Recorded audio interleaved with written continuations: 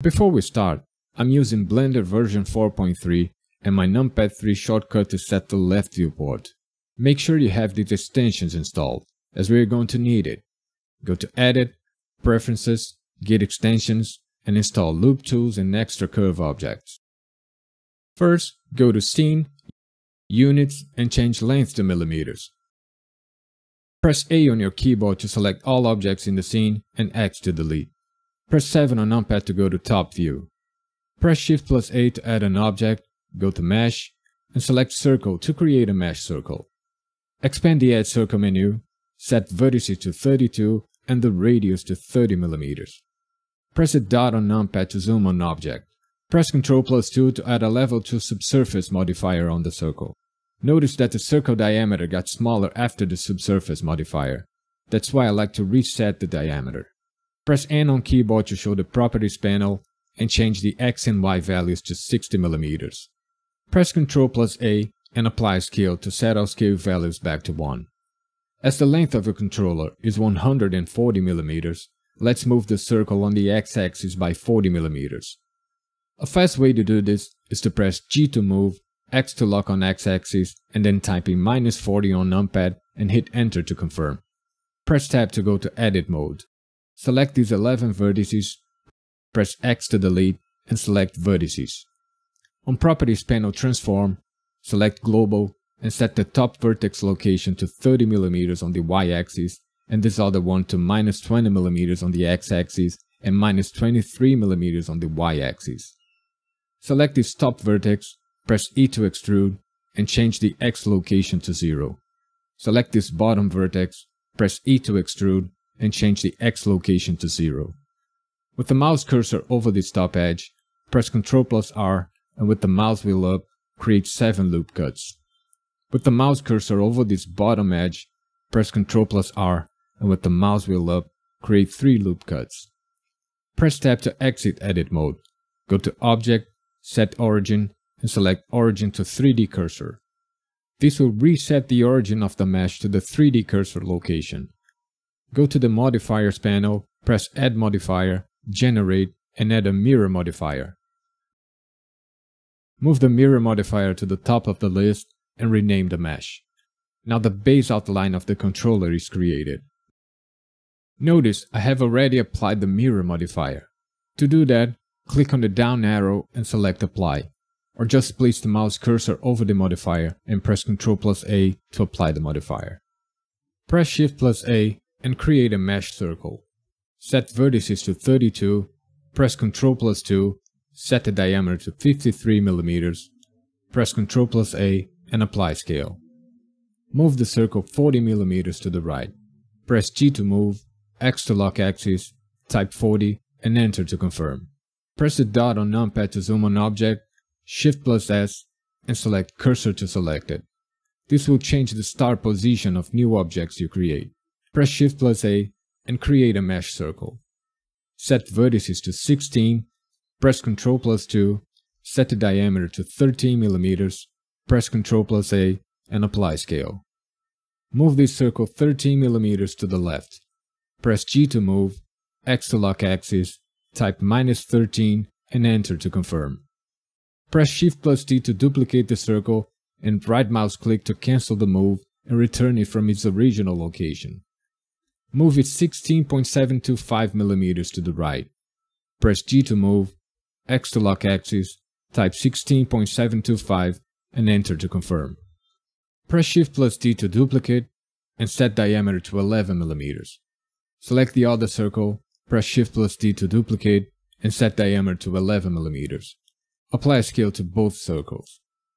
Select both 13 mm circles and press Ctrl plus J. Make sure to select the left circle last to keep its origin point. This is important because all transforms we do will be based on this point. Press tab to go to edit mode and delete half of both circles. Just select these two inner vertices, press Ctrl plus plus sign three times to expand the selection and X to delete them. Select these top two vertices, press F, Ctrl plus R, and create three loop cuts. Select these bottom two vertices, press F, Ctrl plus R, and create three loop cuts. Select the top row and change the Y location to 6.5 millimeters. Select the bottom row and change the Y location to minus 6.5 millimeters. Press tab to exit edit mode. Select the left circle, the right circle, the bigger shape, and press Ctrl plus J. Make sure to select the bigger shape last to keep its origin point. Rotate 39 degrees on the Z-axis. Press R to rotate, Z to lock axis, type 39 and enter to confirm. Press Shift plus D to duplicate the mesh. Press G to move, X to lock axis, type 13 and enter to confirm. Press G to move, Y to lock axis, type minus 10.5 and enter to confirm. Make sure the 3D cursor is at the center. If not, just press Shift plus C. Press Shift plus A and create a mesh circle. Set vertices to 32, press Ctrl plus 2, set the diameter to 33 mm, press Ctrl plus A and apply scale. Press G to move, X to lock axis, type minus 40 and enter. Press the dot on numpad to zoom on object. Press Shift plus S and select cursor to selected. Press Shift plus A and create a mesh plane. Set the X and Y dimensions to 9mm, press Ctrl plus A and apply scale. Press tab to go to edit mode. Right mouse and select subdivide. Now let's create the D-pad cross shape. Select the top row, press E to extrude, Y to lock axis, type 8 and enter. Select the right row, press E to extrude, X to lock axis, type 8 and enter. Select the bottom row, press E to extrude, Y to lock axis, type minus 8 and enter. Select the left row, press E to extrude, X to lock axes, type minus 8 and enter. Press A to select all, X to delete, and select only faces. Select these inner 5 vertices and press X to delete. Select these outer corner vertices and press Ctrl plus B to create a bevel. Change effect to vertices, width to 1.5 mm and segments to 2. Select these inner corner vertices and press Ctrl plus B to create a bevel. Change effect to vertices, width to 0.5 mm and segments to 2. Press 2 on keyboard to go to Edge Select. Select these 8 edges, right mouse, and select Subdivide. Press tab to exit edit mode. Shift select the circle, the controller mesh, and press Ctrl plus J. Make sure the 3D cursor is at the center. If not, just press Shift plus C. Press Shift plus A and create a mesh circle. Set vertices to 16, press Ctrl plus 2, set the diameter to 6 mm, press Ctrl plus A and apply scale.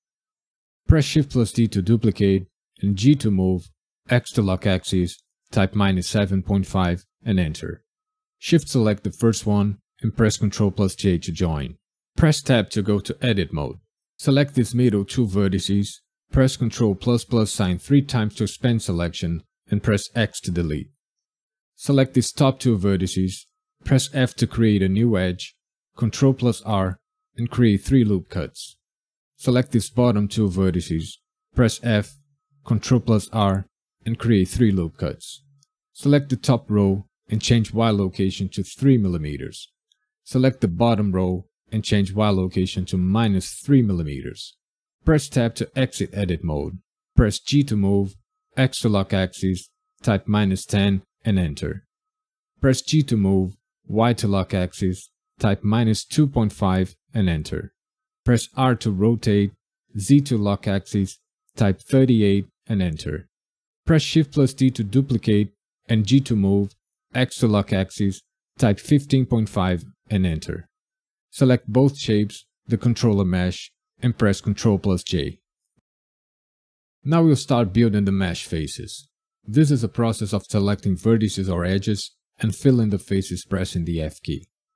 Go to edit mode, select this D-pad circle and press the dot to zoom. Select these four D-pad vertices and press F to create a new face. Repeat this step on the other sides of the shape. With Ctrl plus R, create one loop cut on each face we just created. Select these four edges and with the transform pivot point set to median point, press S to scale, hold Ctrl, drag the mouse to scale up once and left click to confirm. Select these four inner corner vertices and press F to create a face. Repeat this step to create the other seven corner faces. Select these four vertices and press F to create a new face. Repeat this step until you have filled all the faces between the circle and the D-pad shape. Select the D-pad edge loop, press F to fill, press I to create an inset, drag and left click to confirm. Change thickness value to 0.5mm, press X to delete and select faces to delete the face. Select these two oval edge loops and press the dot on numpad to zoom on selection. Select these outer two vertices, press S 1.5 and enter. Make sure to use median point on transform pivot point. Repeat this step on the other three similar edges. Start filling the faces as shown here. Create these 10 faces around the Y button. Create these 10 faces around the X button. Create these 10 faces around the A button. And create these 10 faces around the B button. Start filling these faces between A and B button, press Ctrl plus R to create a loop cut, and fill the remaining 4 faces.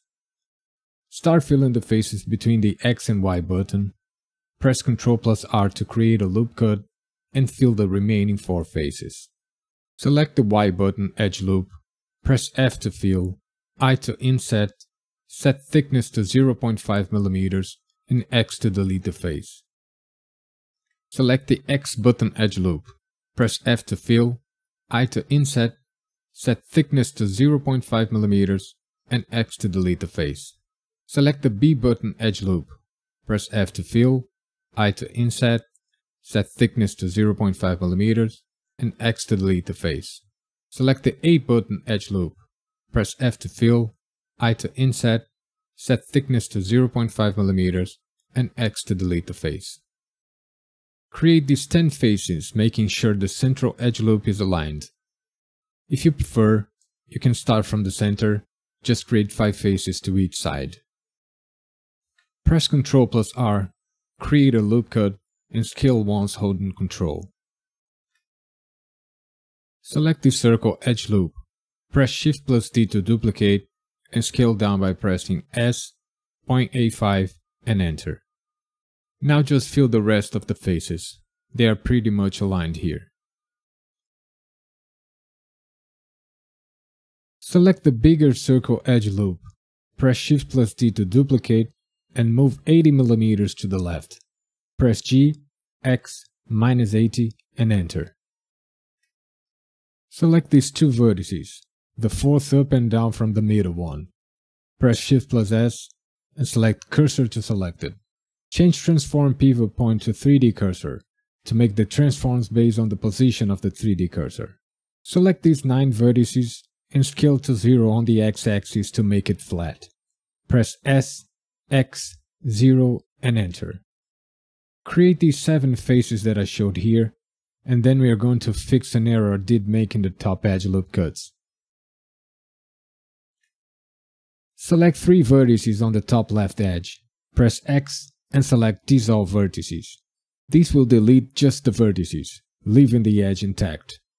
From the middle one, select 5 vertices, right mouse click, go to Loop Tools and select Space to space them evenly. Select 3 vertices from the top right edge. Press X and select Dissolve Vertices. From the middle one, select 5 vertices, right mouse click, go to Loop Tools and select Space to space them evenly. Select this top middle vertex. Press Shift plus S and select Cursor to selected. Or you can just press Shift plus C to place the 3D cursor on all axis center. Press Ctrl plus R, create this loop cut, and scale it to 0 on the x-axis. Press S, X, 0, and enter. Now create 3 loop cuts on the left side and 3 loop cuts on the right side. Repeat the same steps on the bottom face. Select these four vertices and press F to create a new face. Now select this edge and press F to finish creating the faces around the controller. Select these four vertices and press F to create a new face. Now select this edge and press F to finish creating the faces around the D-pad. Select both select and start button edges with Alt plus left click and press the dot on numpad to zoom on selection. Here's another fixing we need to do, but pretty common in modeling. Select these 8 vertices, press X and select Dissolve vertices. Create these 10 faces between select and start buttons. Press Ctrl plus R to create a loop cut. Select these 4 vertices and press F to create a new face. Now select these edge and press F to finish creating the faces around. Alt plus left click the select button edge loop.